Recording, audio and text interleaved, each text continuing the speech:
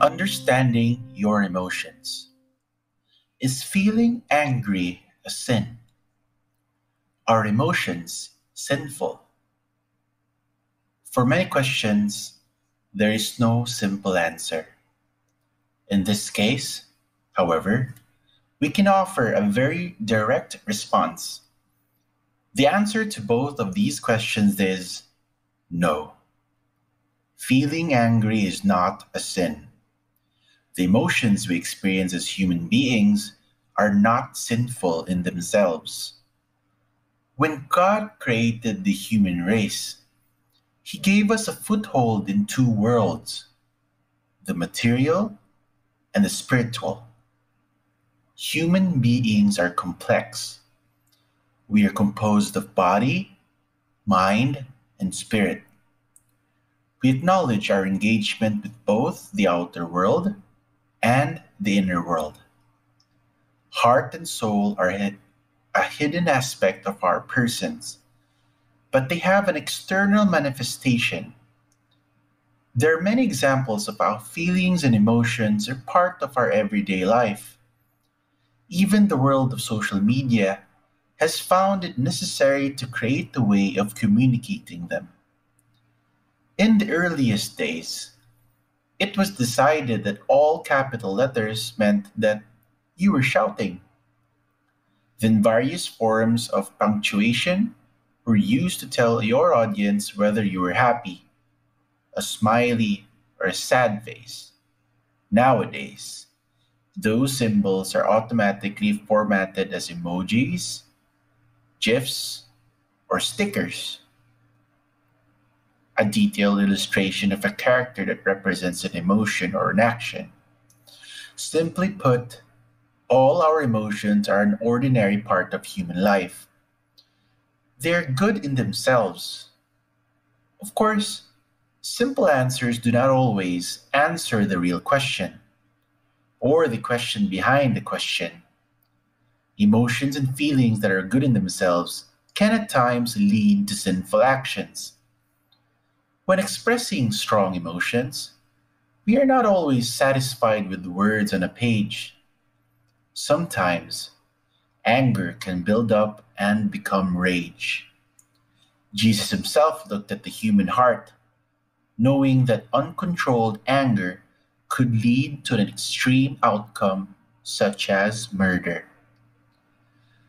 The question behind the question is more of a statement.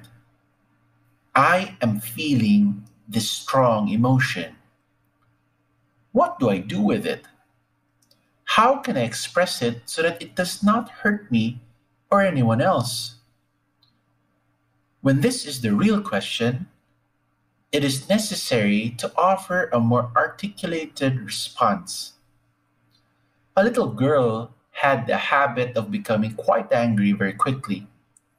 Once, at a very public gathering, she, quote unquote, lost it. Her mother had a feeling of helplessness. She became very upset herself. As her daughter's situation intensified, she dragged her child out of the room to a hallway where she could try to settle her down. Unfortunately, their emotions were so strong that they began feeding off one another. There was a real danger that one or both of them could hurt someone. A person who had worked with the little girl stepped in at that moment. It was evident that the emotions were too powerful for both mother and daughter. The little girl had learned but had for the moment forgotten, three little ways to handle her feelings, which would have allowed for an emotion to be paused. One, to breathe slowly. Two, count to ten. And three, say a little prayer very slowly, such as a Hail Mary. The child chose one of the methods and gradually she calmed down. When she calmed down, her mother calmed down too. And as it happened, the little girl's older brother was there watching this unfold. He had now learned a trick that he could take home with the family to release the tension of a situation so that they could deal with it. The secret to dealing with difficult emotions is to talk to them and listen to them.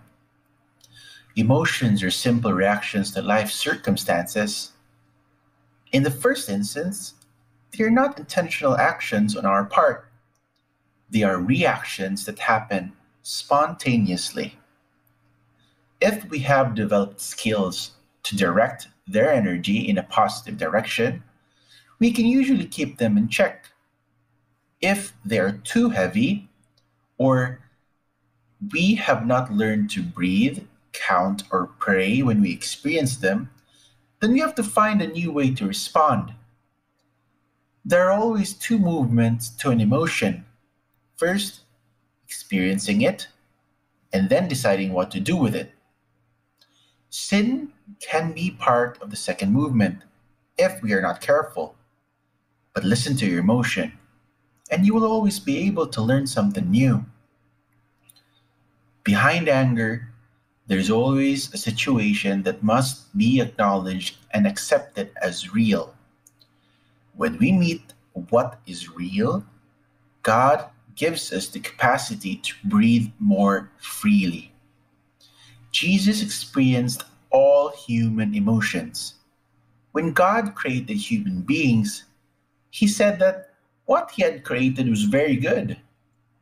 So, in themselves, all human emotions are good.